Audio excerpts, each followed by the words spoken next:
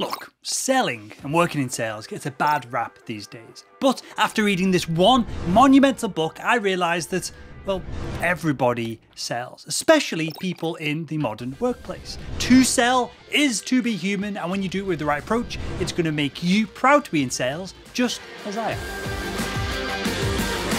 Hi, my name is Will and I make selling simple. So today we're going to talk about the book that made me proud to work in sales. It's called To Sell is Human and it's written by Daniel Pink. And we're going to cover two foundational topics covered by his work.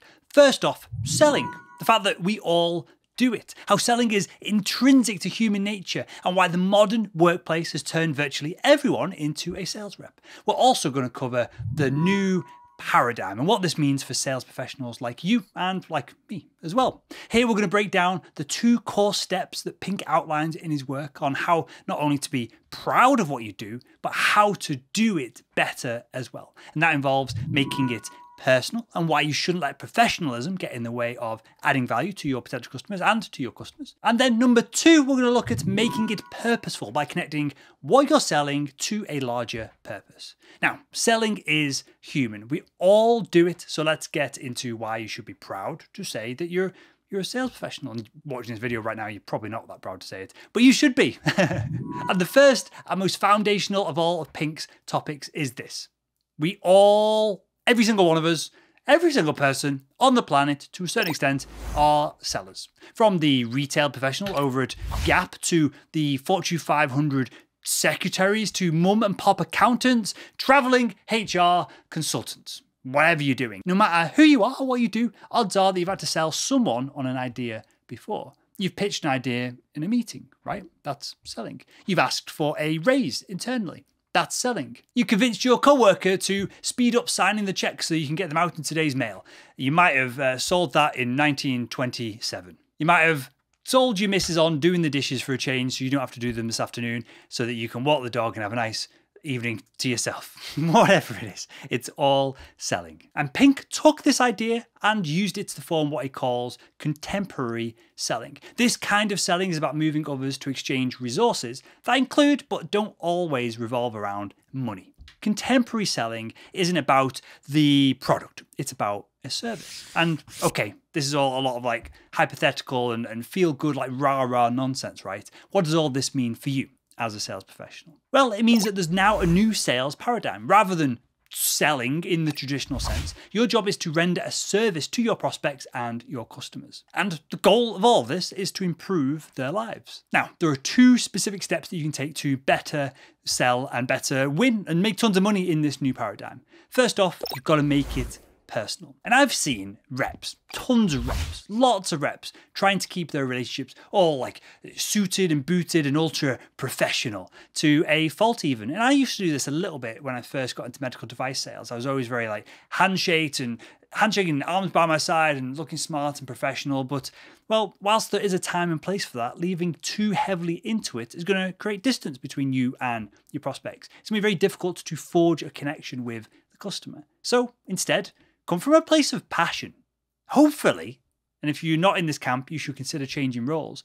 Hopefully, you like what you're selling, you believe in it, and you want others to get the same value as what your core current customers do right now. When you approach your relationship this way, from hey, I know what I've got can really help you, as opposed to oh, I'm just going to get on the phone with this idiot and try and flog him something, immediately, without any tricks or body language hacks or any stuff like that, you come across as more credible. And that instantly builds trust. So let me give you an example of making it personal. So let's say you sell certain types of, I don't know, large scale content management software for, for large Fortune 500 companies. And guess what? You hate what you sell because you know that the product is inefficient, it's overpriced, and frankly, it just doesn't do a good job of solving your buyer's problems. Well, since you know that making a sale probably isn't going to really help anyone that you're selling to, well, then you'll have to find value in other areas of the deal.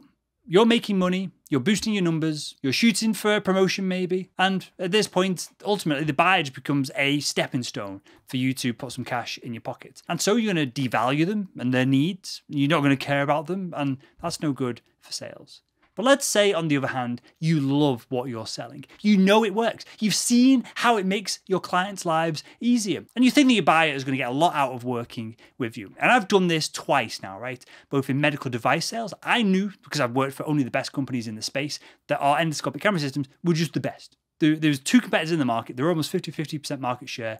I wouldn't have worked for anyone else. And I knew that if we upgraded any old system, older generation system with what we provided, it would cost the hospital a load of money, but the patient outcomes would be much better. The surgeons would be less fatigued at the end of the day using the equipment itself. It just works better. We went from a 1080p screen to a 4K screen. It was just 10 times better, the performance from the product. And that affected both the surgeon, the patients, and everyone else further down the line. I also know from selling Selling Made Simple Academy, both if you're an individual and you get signed up, or if you're a larger organization, which is what I lean into in the team. I sell the enterprise um, deals more often than not. And I know that we really help individual salespeople and entire sales teams find and close more deals in the next 30 days. So I'm excited when I jump on the phone with someone because I know I can help them. I'm passionate. Uh, maybe it comes across as I read these scripts and we do these videos. You can probably see a bit of a, a change when I go off script, like I am now, banging on about the product or service that we provide because I know it's so genuinely beneficial to our customers. And when you approach a sale with this kind of mindset, your genuineness, it shines through. You're congruent with what you're saying, which is completely different to 99% of other sales reps out there. You're there to provide a service, and your buyers are going to be able to trust you on what you say. So that's my little bit of a rant there over. but to take this one step further, the second element that you can implement into your game to live up to this new paradigm of sales is to make everything purposeful. And this is important for salespeople because it's really easy to get caught up and, and bogged down in the specifics of the company you work for, the products you're selling, the solution that you offer, the nitty gritty features, the in the weeds technical details, the straightforward use cases. And if you spend too much time here, you may not realize that what you're selling is actually connected to a much broader purpose in the marketplace. Because as it turns out, studies show that the desire to serve for humans is somewhat innate. It's built right into us.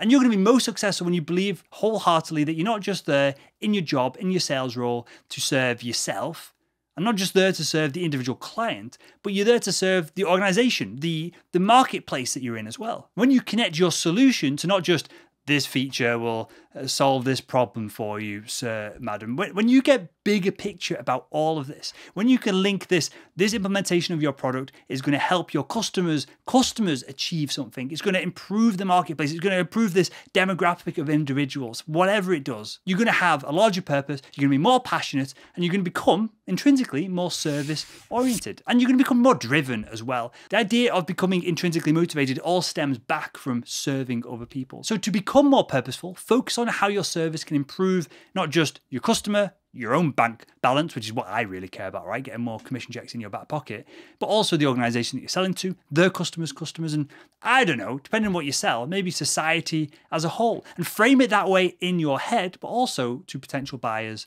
as well. So let me give you an example here because a lot of this is kind of high level, wishy washy stuff. Uh, I appreciate that. So let me give you a more firm example. Let's say you sell accounting software specifically for mum and pop small businesses, and your product is powerful enough to keep these businesses' costs down whilst keeping things compliant with taxes, uh, here in the UK, VAT law, all that kind of stuff. But maybe it's also so easy to use that they don't have to hire an accountant. Your product works great, your clients love it, and alone that could be a driving force that you could get behind. Well, let's take things a step further. Let's say you're helping these small businesses stay afloat, but you're also contributing to a world where small valuable businesses can compete with larger, overgrown, dinosaur like corporations as well. You're making it easier for new ideas to thrive and not immediately just be squashed by monopolistic, massive corporations. And you're also helping to contribute to the values of the, the free market, competition, and the freedom for anyone to participate. That's pretty exciting stuff. So I'm super into helping small business owners. I do loads of coaching and, and free work with small business owners here eh, in, in Leeds and in Yorkshire. And I think that's super valuable for us to give back to companies that are up and growing as well. Because I got loads of help when I started salesman.org and the Selling Made Simple Academy. So in this example, you thought that you were just selling some random piece of software that helps with accounting. But when you make your work purposeful, When you make it important, you get to talk about a bigger picture and that really shines through to your buyers. And when you do all of that, you're gonna feel really freaking proud to work in sales. So we're all salespeople nowadays, and in this contemporary selling landscape, things have obviously changed. And this is the new paradigm. This is not going anywhere. You need to say goodbye to traditional selling and hello to providing a service to your customers. The goal is to improve your prospect's life, not just to get them to buy a random generic product. And you're going to accomplish this by number one, making it personal by freely showing your passion for, for what you do and your product. And if you don't have that passion, then, well, you're either selling the wrong product or maybe you're just in the wrong business, which is fine. You know, not everyone is cut out for sales.